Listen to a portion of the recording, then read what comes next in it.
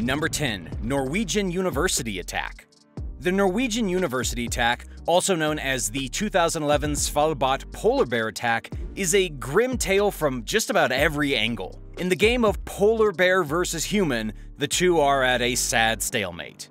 The polar bear who attacked the unlucky college kids and their guides was starving and wandering far from its home to find a slew of students camping out near the Von Post Glacier. The sickly bear attacked the group, slaughtering one student and injuring three more in a nighttime massacre that may have been preventable. The bear was shot and killed by Spike Reid, an expedition leader who shot the creature and saved other students from untold carnage. In retrospect, Norwegian authorities determined that the bear attack happened because of a perfect storm of factors. There was no night security guard on that drizzly and foggy fateful eve, and the students were camping out in tents instead of in cabins, which would have made the bear less likely to detect and attack them. Finally, the bear's emaciated state suggested that it was frantically trying to survive by going after unconventional prey. Number 9. Starving Bears Polar bears burn a lot of energy just existing, so it's no surprise that they need quite a bit of fuel just to keep their engines running smoothly. Unfortunately, the rapidly melting polar ice means that there's less food for the bears to eat, leading to a grave and predictable consequence starvation. Bears have to track food longer, swim further, and expel more energy just to get their paws on some tasty prey. More and more bears are becoming emaciated, and the lack of food is a vicious circle for them. They don't have enough energy to hunt properly, so they can't catch the food they need to sustain themselves and become even sicker. Starving bears are also desperate bears, which is why we've seen an uptick in polar bear attacks as they are forced out of their polar homes into populated areas, famished and looking for a meal. Number 8. Berlin Zoo Attack if there's ever a cautionary tale that wild animals are not friendly, domesticated pets or playthings, it's the Berlin Zoo attack. On April 13, 2009, a woman identified only as Mandy K decided to cool off by jumping into the polar bear enclosure to take a dip in the moat. Unsurprisingly, the bears weren't having any of it, especially since Miss Mandy chose feeding time as the ideal hour to take her swim. The bears hastily attacked, biting the German woman repeatedly until she was finally rescued and pulled from the moat. Miraculously, she survived and was fined for trespassing. While we will never know what possessed Mandy K to throw caution and sanity to the wind by antagonizing the Arctic's ultimate badasses, we do have to give the polar bears credit for teaching her a lesson that she will never forget. Number 7. Smaller Litters the apex predators of the Arctic are slowly dwindling in population size thanks to smaller litters.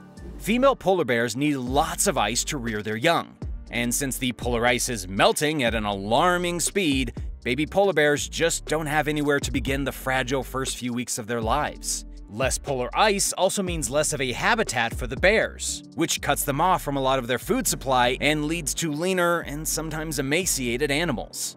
Unhealthy bears have fewer healthy cubs because their bodies simply can't sustain them throughout pregnancy. In the past, polar bears had an average of two cubs per litter, but now they're lucky to eke out one healthy cub per litter. Shrinking litters could very well be an extinction level event for the polar bear population. Number 6. Lyon Inlet Attack for three unlucky men, a broken down boat spelled terror and disaster in an attack known as the Lyon Inlet Attack that killed one of them and traumatized the other two for life. On August 23, 2018, a hunting party was having some mechanical trouble. So the trio decided to stop for an impromptu tea party on a deserted slice of coast. Unfortunately for them, a polar bear and her cub decided that humans should be on the menu and launched an attack, killing 33 year old Darryl Kaunak and scaring the living bejesus out of his two companions. Fortunately, one of the other stun hunters shot the bear and her young cub before they could do more damage, but it was far too late for Kaunick. Number 5. Forced Inland Shrinking habitats are one of the most insidious consequences of climate change, and one that is affecting the proud polar bear astronomically. Polar bears live on sea ice, and with their habitats literally melting into the frigid waters of the oceans, they need to adapt to survive. The result is usually an epic throwdown between the bears and northern peoples. No longer can polar bears live out their lives at the top or bottom of the world, instead, they could be coming to a neighborhood near you. In 2019, 60 polar bears descended upon the town of Ryrkaypiy, Russia, near the top of the country on the Chukchi Sea. Attracted by the walrus carcasses that line the town's beaches, the polar bears terrorized the 500 residents of the Russian fishing village. The town had to employ polar bear alert teams to safely get kids to school and keep people out of the animals' way. With the way things are going, Ryrkaypiy might be one of the first towns to be overrun by these polar predators, but it won't be the last. Number 4. Sentry Island Attack The 2018 Sentry Island attack is a heartbreaking example of a father's love for his children in the face of terror. When a polar bear threatened 31 year old Aaron Gibbons and his small children, Gibbons rose to the challenge, protecting his young from the bloodthirsty polar bear and losing his life in the process. The attack happened in Nunavut, where Gibbons and his children were out getting some fresh air and enjoying the wild shores of the Hudson Bay. Gibbons and his kin were unarmed, making them easy prey for a predatory bear, who began stalking one of Gibbons' little ones. The heroic dad quickly got between the children and the bear, giving the kids enough time to escape to their waiting boat. Unfortunately, Gibbons was unable to escape the wrath of the bear, and he perished, giving his children a chance to live. Although there are bear sightings in Nunavut, the creatures tend to be very cautious around humans, making this polar catastrophe a fluke and a tragic freak accident. Number 3. Toxic Food Toxic food is one of the gravest threats these massive mammals are up against. The toxins that we dump into our oceans make their way all over the world, and this includes the most remote reaches of the poles, where it infects sea life and the animals that prey upon those creatures. It's a vicious cycle called persistent organic pollutants, or POP for short. The slurry of nasty toxins in the Arctic food chain is comprised of at least 19 chemicals, and that's on the conservative side. As a result of all this contaminated food, polar bears experience a host of physical problems, like vitamin shortages and trouble fighting off illness.